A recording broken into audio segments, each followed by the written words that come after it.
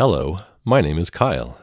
In this tutorial, I'll show you how to create a requisition. I'll begin by navigating to the Requisitions page. On the Requisitions page, you can search for items that you want to order. You can also see status information about requisitions you already entered. On the Requisitions page, click the Shop by Category menu to search for the item you want. I'm going to create a requisition for five desk organizers and three sets of pencils. I'll use the category drop-down to select the desk organizer. On the results page, you can see everything in the catalog that matches the search. If you want to see other accessory options, you can drill down into catalogs from the categories listed here. Now I'll view the details of the catch-all organizer. On the product details page, you can view details of the organizer I selected. I'll add the quantity as 5 and add the items to the shopping cart. I can also add this item to a new or existing shopping list. I'll create a new shopping list and add the organizers to the shopping list.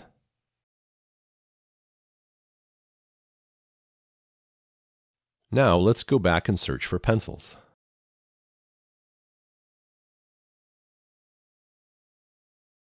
The search results show more than one pencil set. Let's compare some details about a couple of these pencil sets to decide which one to add to the cart. You can compare up to three items.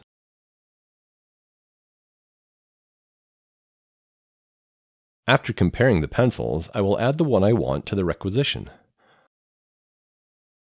I'll enter the quantity as 3. I'll also add this to the shopping list I created earlier. Now that I have finished my compare action, I'll clear the compare products region.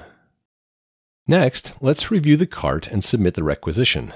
Here's where you have the chance to change anything about the requisition details you want, like remove an item from the cart or change the description or quantity.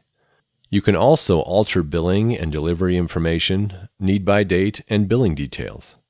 Let's leave everything the same. That's it. We've created the requisition. You can view the PDF version and save it for offline purposes.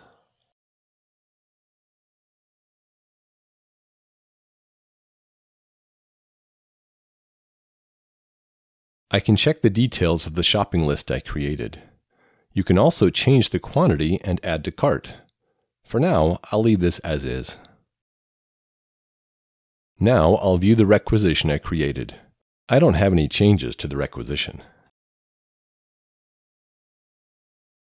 You can also create a requisition using request forms. Here we'll create a simple requisition using a request form. The request form we chose has all the required fields populated.